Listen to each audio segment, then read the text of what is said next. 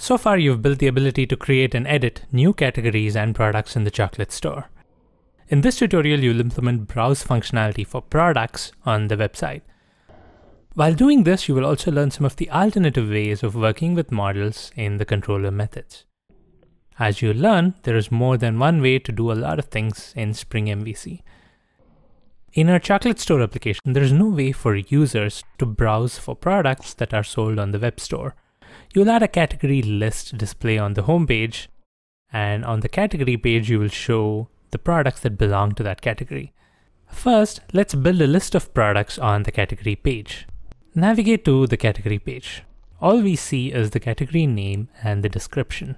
Let's add a list of products that belong to the category. Open the category controller and go to the get category method. This is the method that gets called when the view category page is loaded. This method gets the category from the database and sets it into the model for display. Now what this method also needs to do is get the list of products that belong to the category and set that in the model as well. Then you can modify the view category JSP to show those products. The category service has a method called find category eagerly that basically does an eager fetch of all the products.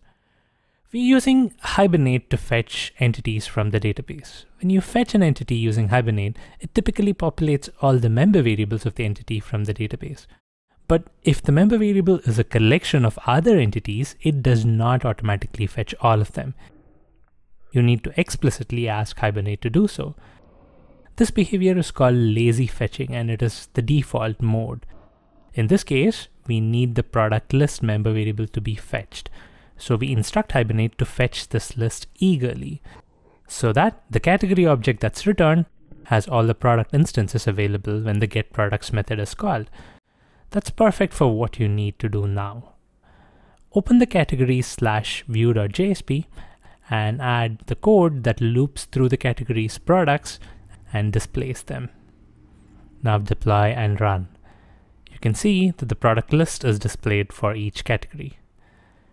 Now let's try another way of doing this. You've learned that in the controller method, you can set objects in the model and return the JSP name for the view. There are actually other ways to do this. Since it's common for every controller method to prepare both the model and view during execution, Spring MVC has provided a class called model and view.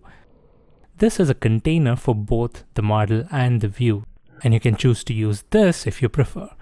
Instead of setting the model in the model argument and returning a view string, you can set the values into an instance of model and view object and return that.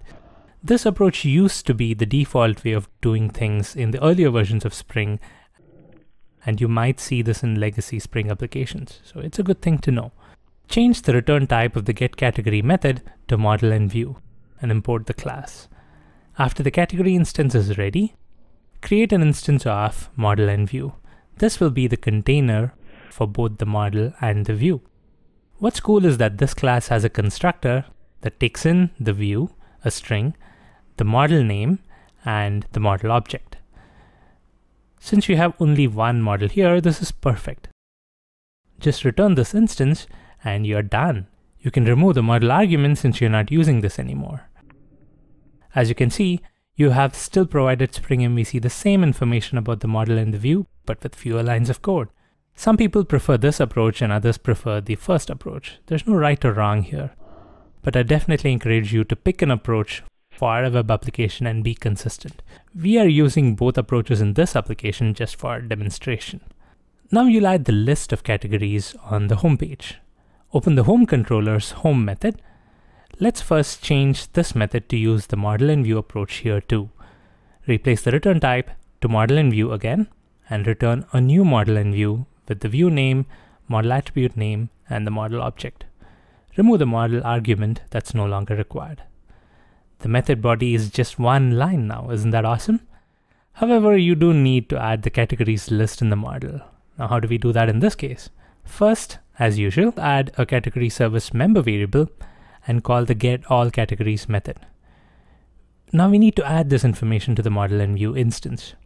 You can do that by calling the add object method of the model and view instance.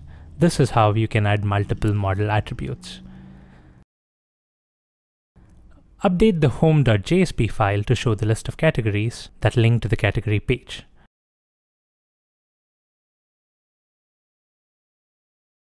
Write a for loop that loops through the model attribute for the category that you've added in the controller and show a list of links to the category pages. Add the message to the property file to show the header. Run the application. You can see that the categories on the home page are being rendered and clicking on the category takes you to the category page where you can see the list of products in that category. There's actually one other way of doing this. Notice that we need the category list to be added to the model every time the home controller's methods are run. Whenever you need a model to be prepared for every controller method, you can actually move the initialization out to a separate method and tell Spring MVC to automatically call that method and set it as a model attribute. In the home controller, add a new method called fetch all categories. All that the method does is call the category service and return the category list. Tell Spring MVC to call this method and set it in the model, annotate it with at model attribute and the name of the attribute you want. You've already seen the model attribute annotation annotated to a controller method argument to get the model attribute. But using the same annotation on a method sets the model attribute to that method's return value. Now you no longer have to set the category list in the model yourself in the home method. You can change that method back to the one-line code that it was. Deploy and run. Before the controller's method is executed, Spring MVC looks at all the methods annotated with at model attribute, calls them, and sets them in the model automatically, so you don't have to do that in the controller method itself. In this tutorial, you have learned an alternative way of preparing model and views in the controller method using the model and view class. You've also learned how to use the at model attribute annotation to prepare and set the model attributes automatically. In the next video, we'll look at data transfer the other way around, from the user to the application, and better ways to work with it.